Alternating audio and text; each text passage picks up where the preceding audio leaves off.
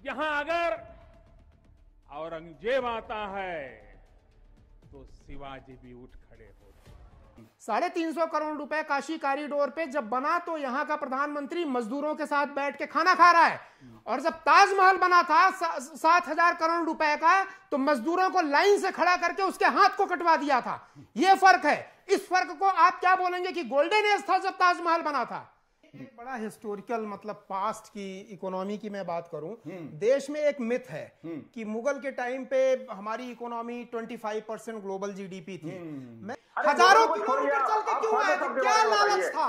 University में admission लेने के लिए आए थे?